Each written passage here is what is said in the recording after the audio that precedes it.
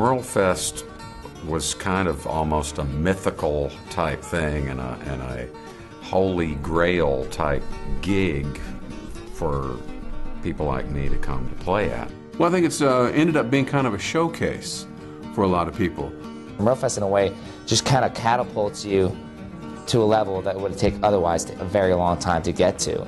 Merlefest was really key, I think, in the way things have gone for me as a, a recording artist and performer. So I'm, I'm forever indebted to Merlefest for that.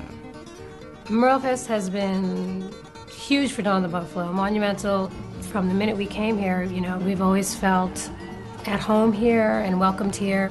And it's just festivals are such a great community, you know, spirited experience that it happens in a big way here. And so it's, it's been huge in our lives.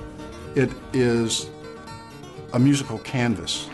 You've got young kids, they want to be on Merle Fest stage. It's a place they can come be comfortable. You see your friends every year. Merle Fest is a place where you do bring your family. This is the first time that you really get to reconnect with people. And that's really important and we can we know we kind of count on it. There's something a little bit different about the Merle Fest audience.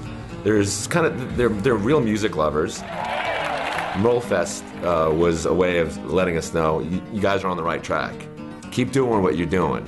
So. And also, I find Merlefest is just very creative of how they schedule bands. They really do just take young bands and hold them up and say, listen, just take a look at these guys. Incredibly well organized and, and highly focused staff that this organization has gotten together over the years. And I've seen it grow from a very tiny festival um, where everything was in one little area to this multi stage, um, multi musical genre type of festival. Every year, something improves, something changes. There's always thinking behind it. It's not just, oh, here's a blueprint, let's just let it go like last year. There always seems to be some desire to improve and keep it growing in the best possible way, in a safe and friendly environment. I just think it's one of the great festivals in America, one of the, one of the great music festivals in America. The success of the festival can be traced to the respect and admiration organizers, fans, and musicians have for its namesake, Mr. Eddie Merle Watson.